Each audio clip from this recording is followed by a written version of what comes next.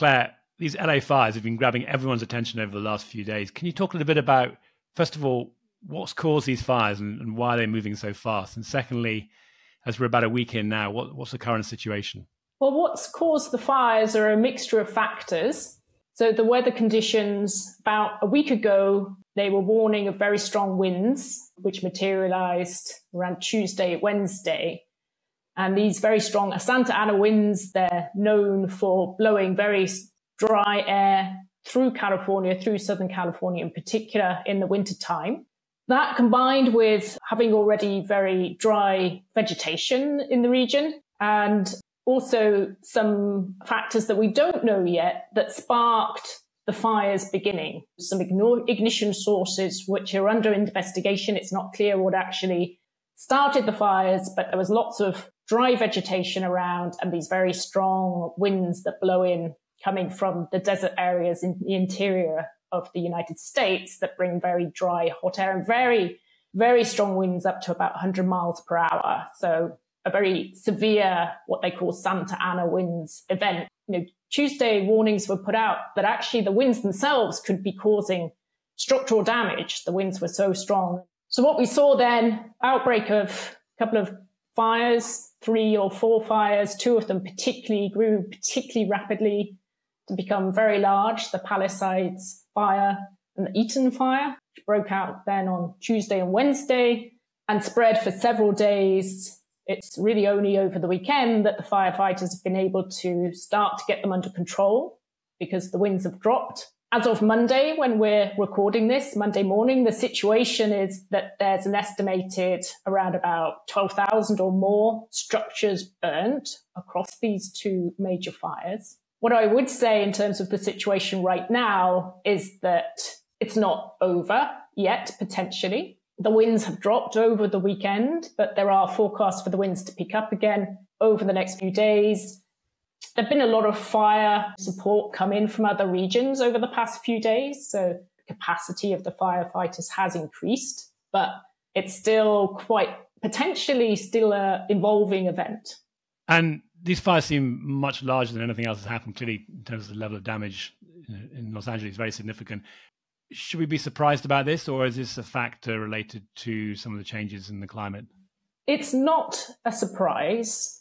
I think lots of people who study wildfires recognize that this part of California is very prone to wildfires. One of the surprises is potentially the time of year that's happened.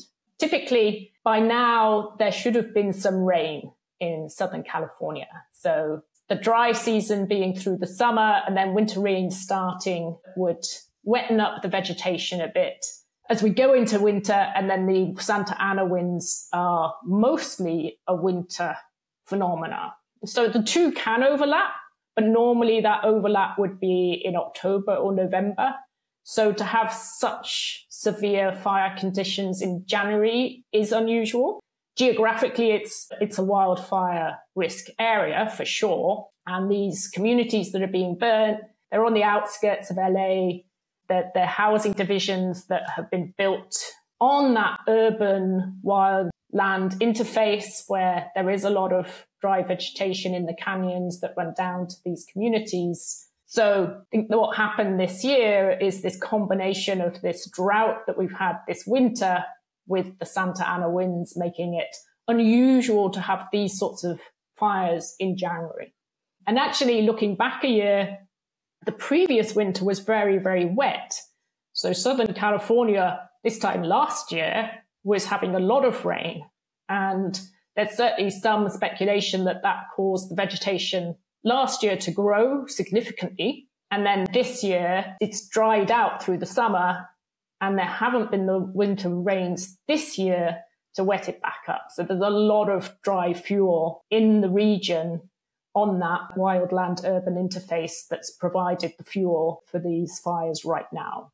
What about insurance? I mean, there's been talk about companies withdrawing from providing cover in the US. You know, we know it's a complicated market in the US with rates generally. So, what any sort of predictions of how this is going to impact the insurance market and that and talks of people not having insurance coverage because of the challenges of, of getting coverage at all?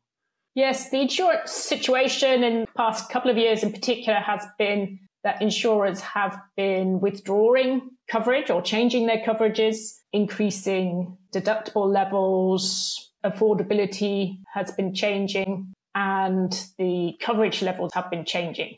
And that's been due to a mix of risk changing and regulatory pressures and the cost of claims increasing generally in insurance over the past four to five years. Lots of complicated factors that go in, into that situation, particularly in the US insurance market.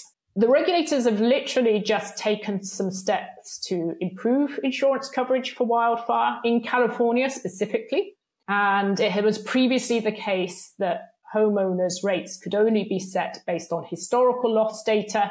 They've now just passed legislation that would enable catastrophe models to be used in the setting of rates and for cost of reinsurance to be calculated and factored into rates. So from an insurer's perspective, that would all make it more possible to provide coverage. Um, but these events, of course, are going to come at a time where there is pressure on the insurance availability and the insurance markets. We don't know yet what the cost is going to be. There are some numbers that have been put out there 10 billion plus, potentially 20 billion. It's still really early, I think, to be making loss estimates. The event isn't over yet. Damage assessments have not been started. The area is totally locked down still and how much is ended up being borne by the private insurance market, how much flows into the FAIR plan, which is the insurer of last resort plan, and how much flows into the reinsurance market. It's still very early to understand all of that in detail. But I think it's clear that insurance coverage going forwards will be a topic of a lot of um, discussion continued. What these fires will do will raise that topic and awareness of insurance coverage to the fore again. It already has. It's being widely discussed in the press and how the regulators and the industry work together to ensure ongoing coverage, whether that's through the private market or through the California state fair plan, how that plays out will will need to be seen after these events. Now we're going to be talking about wildfire at our exponential risk event in March, and Claire, you've been great help in pulling that together. How do you think that's going to impact what we're going to be talking about? Are we going to have enough information by the beginning of March to sort of draw some conclusions from this? Yes, well, at the Exponential Risk Conference in March, we have got dedicated session to talk about wildfire modelling. We already had that planned on the agenda, as it's been quite a hot topic for several years now. I think in terms of the modeling, the state of the modeling, it's a very complex peril to model. So models have been evolving in recent years very rapidly. And there's a lot of new providers that have been coming on that specialize in wildfire modeling. They're very complex events, as we've discussed around the availability of the fuel sources, that interface between urban areas and wildlands, you know, the impact of, of strong winds and their direction and how strong they are, ignition sources, the ability of the firefighters to control the fires, even the impacts of your neighboring properties on your property risk. It's very high resolution pool peril and there's lots of complicated factors. So there's a lot of new solutions that we'll be talking about about exponential risk. I think in terms of this event, it will still be quite early actually. I mean, two months time, there may well by that time be estimates of how many properties will be damaged. But in terms of losses, I think there'll still be a lot of discussion. Business interruption, alternative li- living expenses costs are going to be very significant from this event. So beyond the structural damage, people will be out of their homes for a long time.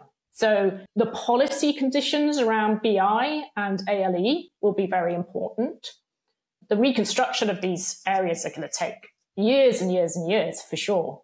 So people are not going to be returning to their homes anytime soon. From a loss perspective, it will still be quite early, I think, in two months' time. And of course, the whole claim settlement process will take a long time for an event like this. There's likely to be significant post event loss amplification. But as I said, that timeline of reconstruction after a wildfire like this is totally different than something like a hurricane when you look back to some of the previous big fires that there have been, like the Paradise Fire in 2018, they've only partially rebuilt from that, and that's six years later. these communities get changed forever. So the claim settlement process, how much the properties have been insured for, whether they're insured for replacement cost values or actual cost values, it's going to take a long time to really get a firm firm loss estimate. Well, that was very helpful. Thank you very much for the latest updates. Thank you, Matthew, and look forward to discussing more in March.